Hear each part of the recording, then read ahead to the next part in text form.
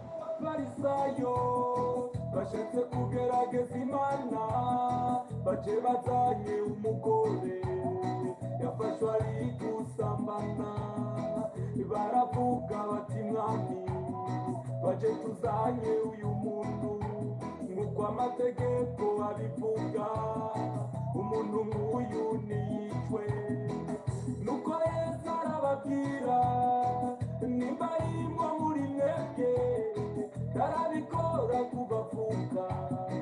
nabanze kumutera ibuye maze yesu ararindira. Uyu mukenyezi bamwice. Tukuri byari biteye isoni namwe mwumve. Bose mu kugenda barahunga. Ikinera amakenga nuko bace bazanye umugore umugabo babikoranye bakamureka yema akagenda tora torere cyane mwananje isi nuko yarahumanye uko abagabo barajya imbwa nazo zikishyura uko abo bose bafungwa. Siko bose bakoze ibyaha iyo wirahiye ngo uvuge baca bagucira urwa pirato urya abagabo barajya imbwa na zo zikishyura.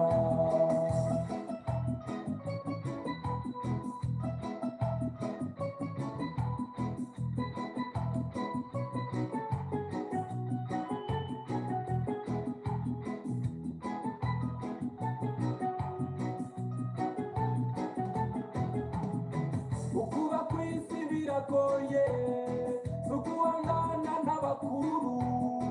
Ibyaha byabo birahishirwa nta ngingo n'imwe yemwe ibatsinda mbere naho yo kwica umuntu icyo wumva ngo yambitse izera. Anyuruje itunga rya leta ntafungwe ngo baracyatosa umukene nyarucari ivy'igitoki kuko ashonje boherwa amaboko imugongo makagapfira yemwe ku ntego ukuba kw'isi bimaze iki ubwami bwawe mana nibuze jewe ijisho ryanje mwananje rirangora cyane kumenya. Ibona ibibi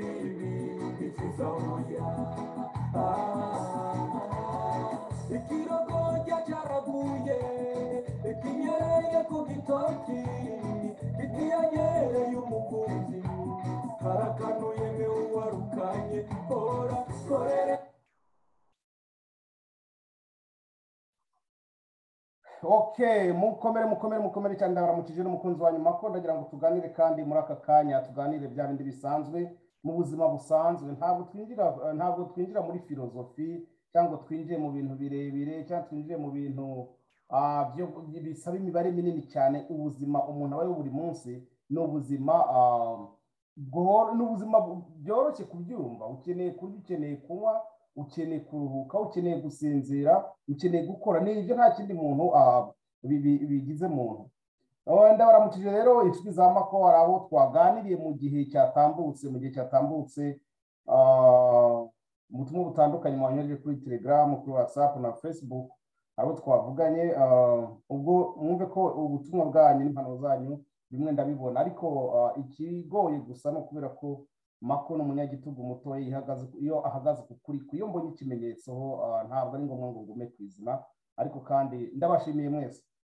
Ah, hanyuma rero mwabonye akavidewo akavidewo k'umusaza ngo wavutse mu w'ibihumbi muri bitatu magana inani na mirongo itanu. Simbizi magana atanu na mirongo sinzi ukuntu babivuga sinzi uriya mwaka navuze ko utabaho. Ntabwo kariya kavidewo katambutse uyu munsi. Ntabwo ari ak'uyu munsi. Aka kavidewo nkamaranye nk'igihe kiri hejuru y'umwaka cyangwa imyaka ibiri. Ntabwo nibuka neza ariko kandi ni ikimenyetso cya ya viziyo ikimenyetso cya ya viziyo niyo mwungere yonari nawe ati abagabo bararya imbwa zikishyura. Umukene nyarucari wa wundi yibye igitoki kubera ko ashonje baramwicira ku nembo ku migozi ariko ba bandi ah, basahura igihugu babandi basahura igihugu bo. Nta kibazo rwose. Reka reka reka. Wumva ngo yambitswe izera kubera ko aba yakoranye n'abacamanza aba yakoranye n'abafata ibyemezo bakoranye n'abafata ingingo. Ibyo byose rero ni ikibazo. Burya byose bituruka kuri sosiyete. Bituruka kuri sosiyete kuko abantu bemeye kubaho. Hari abantu bemeye guha ko hari abantu ba- ba- batagira ikintu cy'uburenganzira bwa muntu muri bo ahubwo bahora basingiza bakoma amashyi. Abo bariyizi ugasanga noneho umuntu we ahubwo ngo arebe ah, ukuri ashyire muri harya mu gitabo gushyira muri logike ahubwo we akareba ah, agahita yirukankira kureba abafata ibyemezo ati eh ufata ibyemezo ze araza kundeba gute. Nicyo kibazo rero dufite ntabwo abantu benshi cyane ntabwo babayeho kubera ko babayeho nk'abantu babayeho bareba basingiza. Rya jisho rya bihehema ko yaririmbye ni cyo kibazo dufite. Aka kanya niba hari abantu bakubitwa kubera imvunja. Kubera icyo umuntu akubitwa kubera ko arwaye imvunja? Ni umuntu mukuru nk'uwavutse muri iyo myaka. None tekereza iyo ubukene cyangwa ubujiji butuma umuntu yumva ari fiye yo kuvuga ati ah wanga iki kibazo kinanire ngo mfite imyaka ingahe? Mfite imyaka icumi. Kandi n'umusaza uri kwe- kwegera uri kwegera mu myaka ijana ahubwo. Ati mfite imyaka ingahe? Mfite imyaka icumi. Kubera ko niyo sosiyete yakuriyemo ntabwo yigeze eh, abona ntabwo yigeze abona ntabwo yigeze abona ubumenyi ntiyigeze abaho yisanzuye ntiyigeze abaho yumva ko hari ubundi bumenyi akeneye bw'ejo hazaza ngo amenye ngo kumenya imyaka y'umuntu bimaze iki? Amenye ngo eh, kubara kubara bimaze iki? Uriya muntu nese nubwo wamuhereza tuvuge umuhaye miliyoni y'ama- y'amafaranga. Yavuga ati bampaye ibihumbi icumi. Ko niwo mubare wihuta muri we bivanye na sosiyete ntabwo rero kariya kantu nagashyizeho kugira ngo wenda se ngo ndangaze eh, hari n'akandi nzashyira hejuru bivanye n'ibyo mashaka kuganiraho. Ariko kandi nimwibaze igihugu cyateye imbere. Twibuke neza ko uriya muntu ni wo mu bwoko bw'abasangabutaka ntagende kuri bya bindi by'amazuru ngo n'ibiki n'ibiki n'ibiki oya amakuru ndayafite. Ntabwo ari umusangwabutaka nka ba mako n'abandi oya ni umusangwabutaka nimwibaze noneho abanyarwanda nyuma y'imyaka ingahe mwebwe muri mu rwanda? Ni mwebwe muzaba mufite ubumenyi n'ubukene ubumenyi buke n'ubukene azaba ari ibyanyu. Ngo uriya niba ari umusangwabutaka akaba ariko amateka abitubwira. Abimukira cyangwa se abagiye bamusanga mu bahutu n'abatutsi. Bakaba baramucinyije ku buryo no kubara imyaka ye ntabyo azi. Iriya ni ihungabana baba baragiriwe. Ko ntumbwire ko aho bagiye bajya nabo bagiye bicwa. Tuvuge ko abahutu bagiye babakonkera nabo bagenda babimura mu byabo ariko icyo gihe ubutaka bwari buhari ndamya ko abahutu nabwo reka simbabeshyere nta muhutu ugenda uvuga ngo mvamo ngo ngo mvamo uva kuri ubu butaka. Nta n'umututsi uvuga ngo keretse bariya ba- ba- abo bega n'abanyiginya nibo iyo mico ni iyabo nibo bagomba gutwara ibyo basaba. Amaso yabo iyo bishimye biba bibaye ibyabo utazica noneho rero mwibaze barabwiye ko hari igihe u rwanda ruzaba urw'abanyamahanga none uribaza ko abanyamahanga bazaza bature? Bazatura ku mitwe yanyu. Gutura ku mitwe yanyu ni ukubica ni ukubavanaho.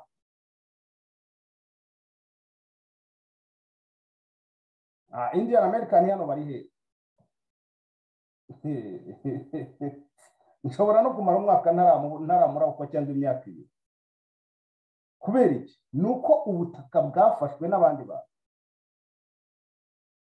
Aka kanya rero ndagira ngo tuganire ku bintu bigaragara kandi byumvikana. Aka kanya urabona ngo mu rwanda hari inzara. Ariko simbyumva.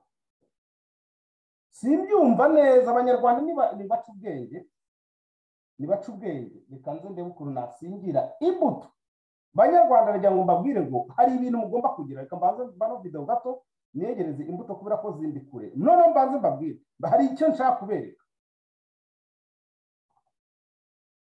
Unyihanganire gato rwose gato cyane ariko nshobora nshobora kubereka ikintu kugira ngo abanyarwanda bace ubwenge barebe. Ntabwo ari uko nabikoze wenda se kugira ngo "Mm, mm, ntawe ngiye kuratira. Ubona ngo mbanze mbereke neza uburyo mugiye kuba abacakara mu bihugu by'iwanyu. Mugiye kuba abacakara mu bihugu by'iwanyu kandi bigaragara neza ko mufite ah, mufite akazi gakomeye ariko kandi akazi mukora akazi mukora ntabwo mugahemberwa. Okay naje noneho naje naje reka nze reka ariko no hari urundi rubuto ntari kubona urundi rubuto ntari kubona reka rwibagiwe reka nze Mhm.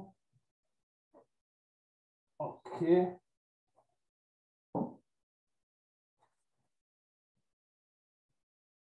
Okay. okay ndagarutse ndagarutse ntabwo nari kure ndagarutse banyarwanda rero hari ikintu nshaka kuvuga hari ikintu nshaka kuvuga kubera ko hari ibintu bijya bintera agahinda. Kuvuga ngo mu rwanda hari inzara ngo abaturage barashonje abaturage barahinga buri munsi. Politiki y'ubuhinzi imaze iki? Ikora iki? Byari ikintu hari ibintu bitaza mu bwonko bwanjye simbyo kera ibijumba twabiteraga imigeri imyumbati amateke avoka ibigori. Hari abantu bibaza ngo ngo nta muntu uri muri amerika cyangwa uri hanze muri ibyo bihugu ukeneye ushonje mu by'ukuri ntawe. Ni iby'inyongera kuko umuntu ararya akanywa akagira ni urugero kamanza imbere yewe izi mbuto ni apo apo ntabwo nyirya. Okay iyi ni imineke. Imineke rwose ntabwo nyikunda cyane kuko iwacu ni mu rutoki. Ibyo ababizi barabizi. Hahoze ari mu rutoki ariko ariko ubu ntabyo bagifite. Uyu ni umwembe. Mubyumve ko ntabwo urabona utu tuntu turi hano. Tuno twa tundi basikaninga. Iyi ni bakode basikaninga umwembe uba ufite igiciro cyawo. Kugira ngo bamenye igiciro mu isoko kandi kose kaba kariho ubwo buhinga. Oke noneho ndayambabwire ko ibi bishobora no kubura hano mu nzu. Ntawe ubiriye iyi si inanasi. Mwumve ko rwose ntabwo nigeze njya kuba ngo nguke ahubwo ndabibonye hafi yanjye ndabona cya kiganiro cyanjye kikoze oke noneho iyi ni avoka. Utu ni two duto nkunda turyoha rimwe na rimwe natwo dushira tubuze. Oke simbizi niba ibi niba mubyita gute izi ni redi grapes. Okay. Noneho hari na oranje ari zo za ndimu cyangwa imicungwa oranges. Okay. Ibi byose. Ntabwo ndi kuvuga ngo ya keretse icyo ntarya ni urupfu ariko ibindi byose ku isi narabiriye. Kenerope iyi kenerope igomba kumera nka ntuze nka za meloni cyangwa za hanidu ibyo ngibyo iwacu ntabyo nabibonye mu rwanda ariko ahandi birahari hariya mu turere dushyuha birahari. Umanutse mu majyepfo birahaba noneho rero kubera iki mako avuze kuri ibi bintu byo kurya n'ibiki? Mu rwanda baravuga ngo hari inzara ngo abaturage barashonje ni byo koko irahari. Ariko se politike ihari ni iyihe ituma abantu bashonje. Aho ndi kugana ntabwo ndahababwira kubera ko tuvuga ni nk'urugero wenda se ibi bitoki simbizi ibitoki no ni ibyo muri amerika y'amajyepfo ngira ngo ababizi bazamusobanura kuko ibitoki by'imineke ngira ngo ni ibiva iyo za hondurasi bikava hehe? Panama hano kuri ntuze hano kuri kuri aka kantu hano hariho panama ntibishobora gushyira muri amerika. Kubera iki? Politiki ya amerika ni uko ishaka isoko. Na bya bihugu bigahinga bene igihugu babo bagahinga akaba ari bo basarura akaba ari bo bungukira muri ibyo bintu. Umunyamerika nawe ntashobora gusonza n'umunsi n'umwe. Tuvuge urugero reka ndebe iyi payinapo iyi ntuzi inanasi. Ntabwo nshobora kumenya. Zongera ngo zishobora kuba izi hano muri amerika. Mexico. Ya mexico ndabibonye rwose. Iyi nanasi niyo muri mexico. Produit du mexique. Produce of mexico.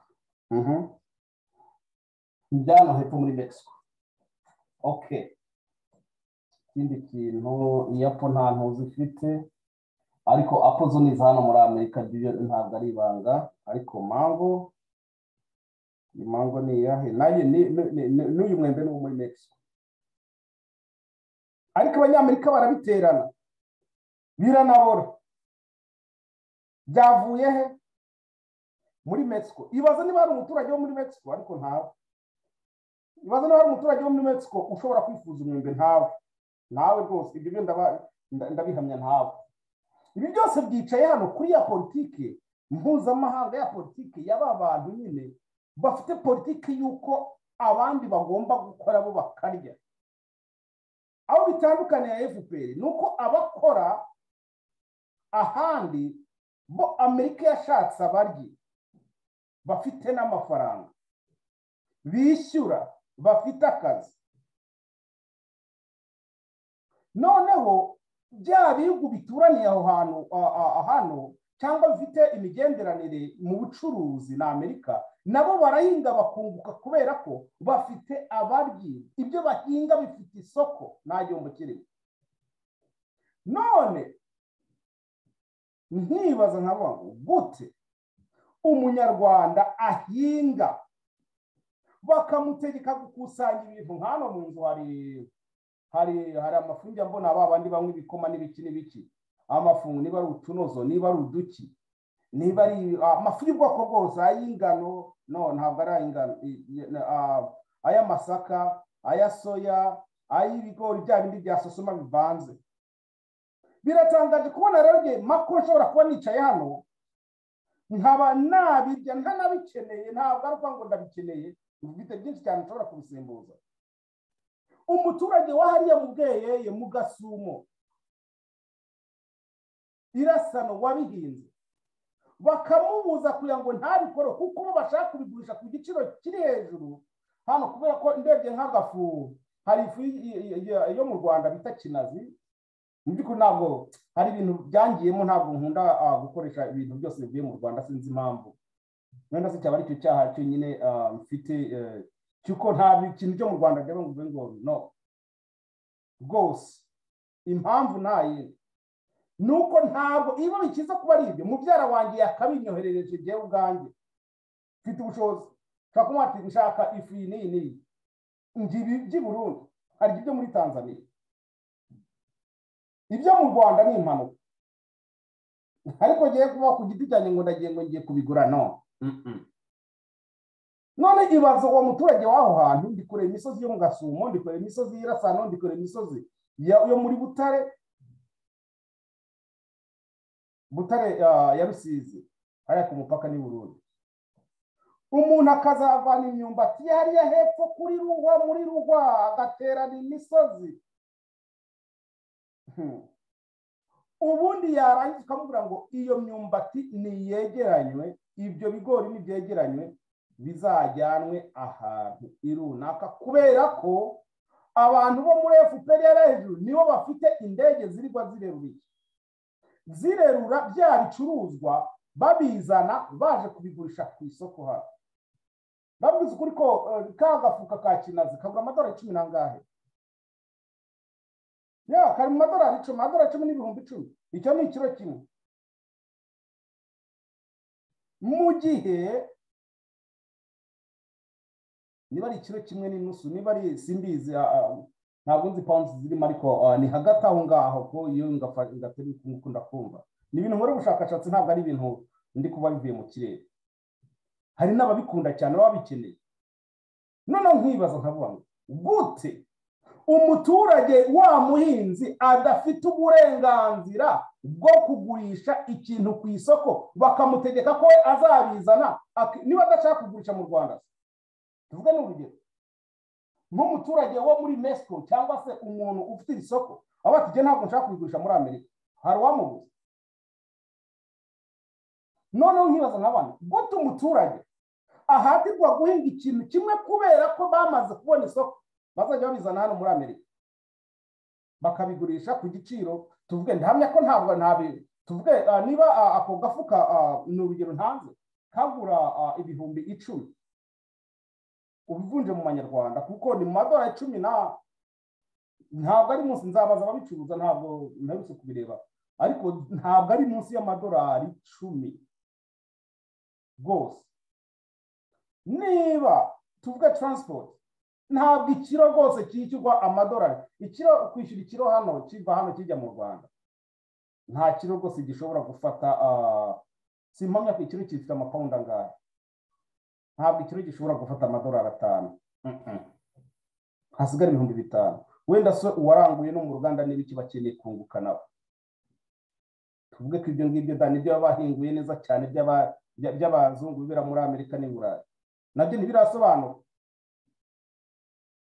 ariko wumve ko wa muturage iyo akiza kugira uburenganzira ku byo akora ku murimo we. Uyu muturage aba yarateye imbere.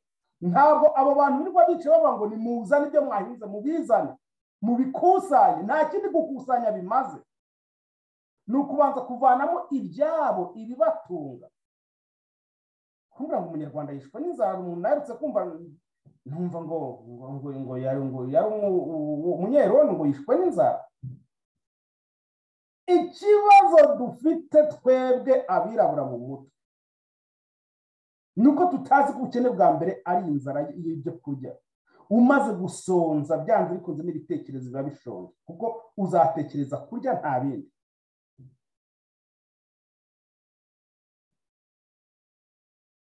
Umushinga mwiza wose waba ufite ushonje. Uwo mushinga uburizwamo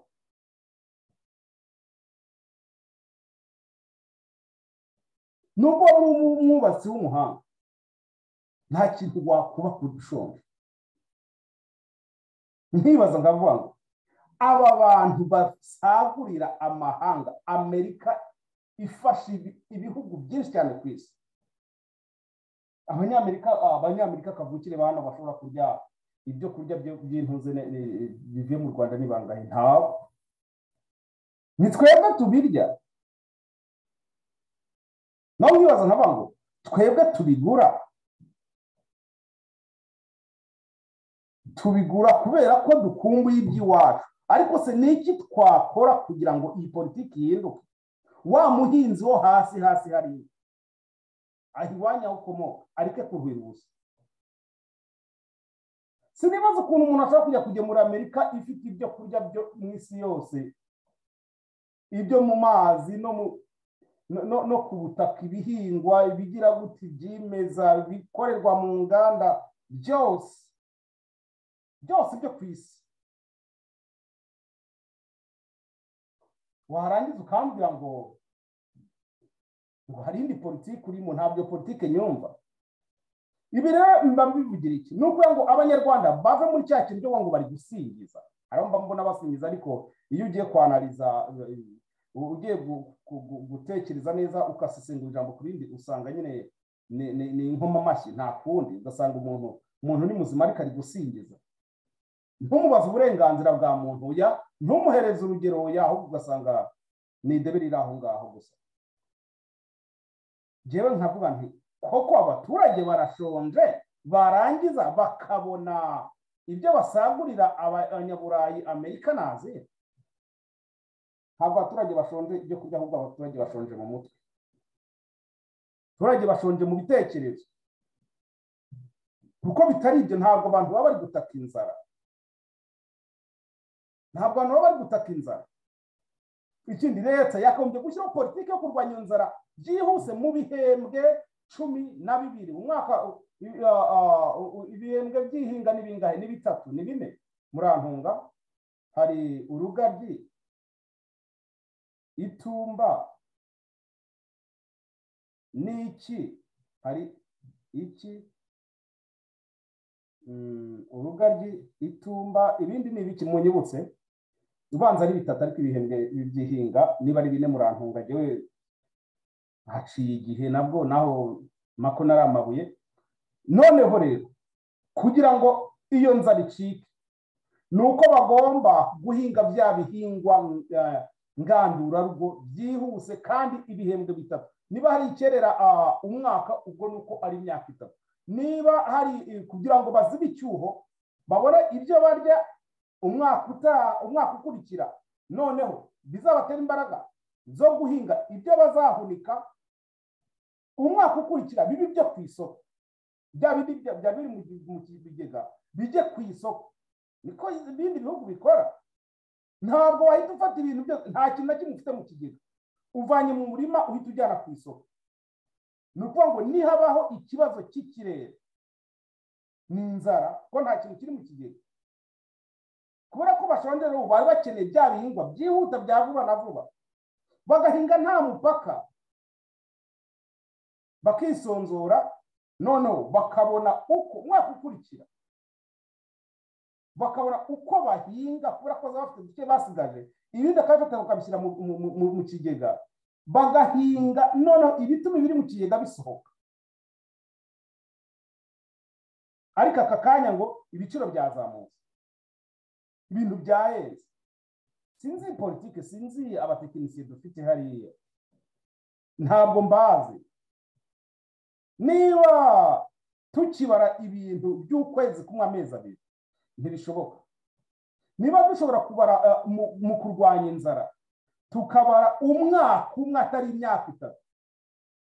Ntaho twaba tuva ntaho twaba turi kujya njyewe rero ntabwo umuturage yema ko nta kibazo mfite. Nta kibazo mfite pe ntacyo nta kibazo mfite. Wa muturage uri hariya mbwira buri munsi. Ababa bambabaje nabi iwacu. Simbabeshye ababa bambabaje nabi kuko ntabwo bigeze basonza mu buzima. Hmm? ntabwo bigeze basonza. Aka kanya barashonga. Ikibazo gihari ni kimwe. Ikibazo gihari ni kimwe. Dufite abanyepolitiki babi hari umushinga nigeze gutekereza ndabona ariko ubu ukuntu abantu borora nta buryo habaho politike yo gukora itafari mu mase y'inka muri bya bi- bya bindi ba- bakundura. Aho ngo ba- ba- babikoremo ah, hari ababitunganya babikozemo biyogazi ariko noneho nkabona ese uwakora politike yo kubumba udutafari tubikwa? None mu gihe cyo- kujya guhinga twa dutafari akaba ariko barajya bagenda bashyira mu kinogo? Ku buryo nikamara gushanguka batera bamara gutera agatafari bakaba bazi neza ko ka- kagomba kumara amezi aya kagomba kumara amezi kagomba gutunga igihe. Ibyo bintu nigeze mbiteza n'abandi ibi bintu nabikora gute?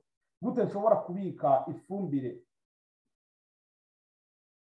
Nkabika ngakuramo amatafari mu ifumbire abikika none igihe cyo guhinga nkazayo ibyo nabiteke ntaho ndabibona nta naho mbizi. Hazagira umuntu ugerageza mwa basore mubweye muri rusizi n'ahandi. Hazagira umuntu ugerageza avuga ati mako ka gatafari nabonye uburyo umuntu yagakora ni ibitekerezo byanjye. Noneho iryo tafari rikaba ryabikwa.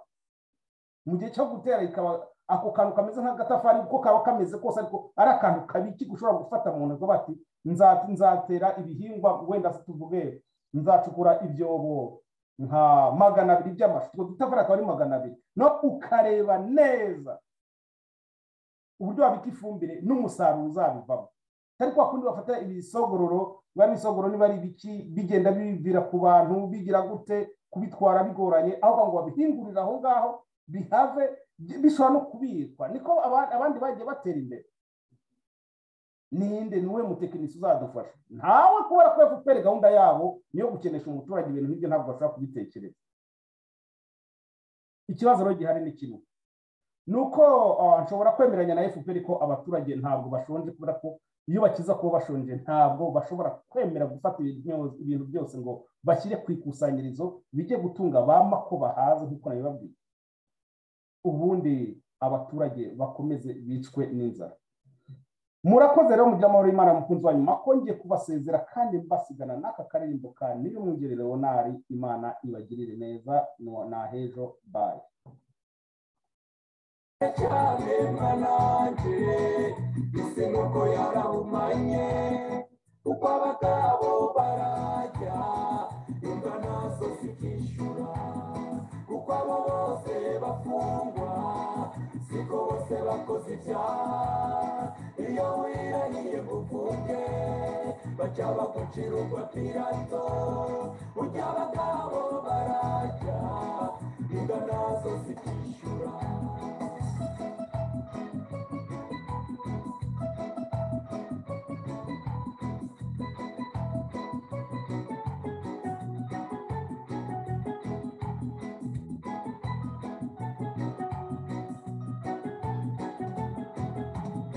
uyu ni munsi uhoraho yarakijije impumyi imwe itigeze ibona.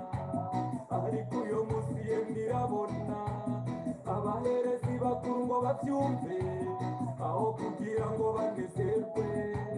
Batangura kuryagagura yesu ngo yakijije umuntu ku isabato. Bashaka zo kumahumye akazutungwa